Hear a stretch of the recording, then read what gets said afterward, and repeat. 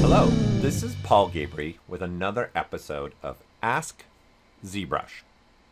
All right, so the question that was sent to us was how can I export all my subtools into a single file format and still maintain all the subtool names?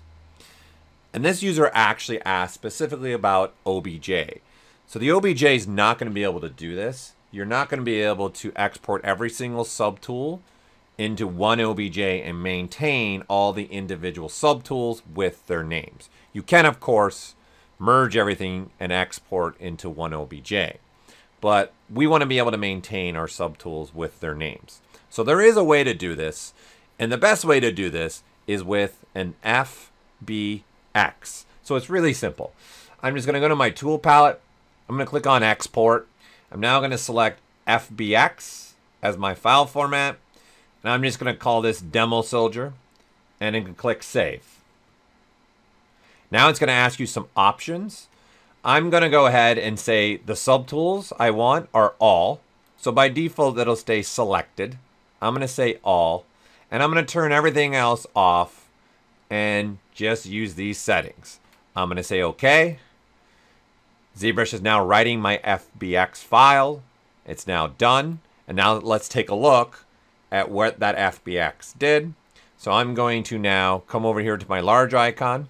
I'm just going to select this Polymesh 3D star. And then I'm going to click Import in the tool palette. Now I'm going to load that Demo Soldier FBX. I'm going to double click that. It's going to ask me again, is there anything else I also want to import? Like cameras and polygrouping. So I'm just going to turn everything off because all I want right now are the meshes with their subtool names. I'm going to say OK. And now ZBrush is bringing everything in. And as you can see, we now have two files of the Demo Soldier. We have this new one, which was our FBX, and we have the old one. And if I open up my subtool palette, you'll see I've maintained all the subtools with their names in the FBX.